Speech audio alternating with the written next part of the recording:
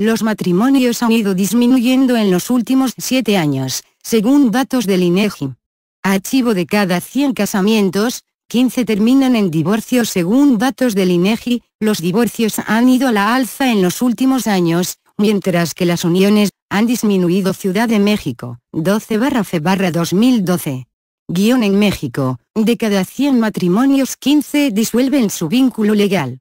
De las parejas que se divorciaron en 2009, 30.5% mantuvo la unión 5 años o menos, 18.5% entre 6 y 9 años y prácticamente la mitad, 49.5%, proviene de un matrimonio con una duración social de 10 años o más. El organismo destaca que la duración media de los matrimonios que disolvieron su vínculo de manera legal es de 12 años, lo que representa 1.2 años más que en 2000, cuando las parejas que se separaron duraron casadas 10.8 años. De los hombres y mujeres que se divorcian, uno de cada diez cuenta a lo sumo con primaria terminada, y 44.9% de los varones y 44.6% de las mujeres declaran tener una escolaridad media superior y superior.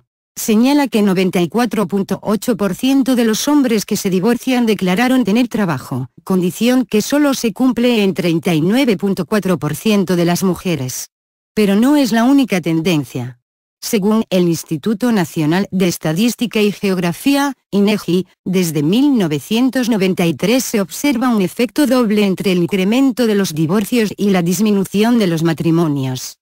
Menos bodas, más separaciones de acuerdo con la encuesta nacional de la dinámica demográfica, ENADIR, de 2000 y 2009 la cifra de matrimonios se redujo 21% y el de los divorcios aumentó 61%.